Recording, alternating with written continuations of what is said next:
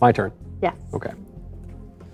Let's be honest, the trouble the trouble all started when women were allowed to vote. Wow.